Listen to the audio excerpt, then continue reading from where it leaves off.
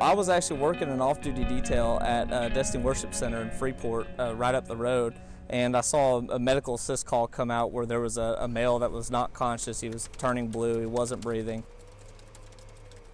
I looked at the map and saw it was the closest unit, and I knew that, you know, something needed to be done. Somebody needed to get there, so I went ahead and, and jumped the call.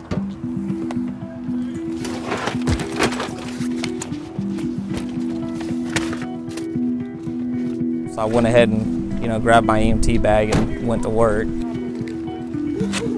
I need you to calm down for me, okay? Listen, he's not in trouble if he took anything. I just need to know so I can help him, okay? He did not look good. He was his face was was blue. He, they call it cyanosis. His, his lips around all the way around his mouth was all cyanotic. He was barely breathing on his own, if at all. He hasn't taken anything? Pupils are pinpoint.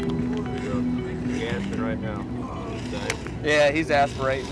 Uh, and actually, at one point, he did stop breathing until I administered Narcan. So.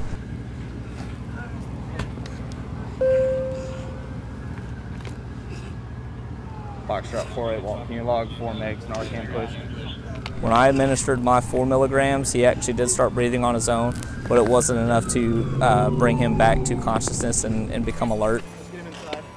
So when the medics got there, we got him into the ambulance and we breathed for him for a little bit just to give him, you know, 100% oxygen. And uh, they administered two more, and uh, as they were pulling out of the parking lot, he actually was breathing and talking on his own and answering questions to the paramedic that was in the ambulance, and they uh, transported him to Sacred Heart. Do you feel like you are a hero? Do you feel like you saved No, no. I mean, it, it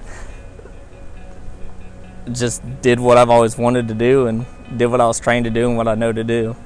What would you say to somebody that called you a hero for that? it's just doing my job. You're not a hero for that. I mean, these these guys that work the ambulance every day, they they do it every day. I mean, they they they make a direct difference in people's lives. It's just I guess different for a for a deputy to do it.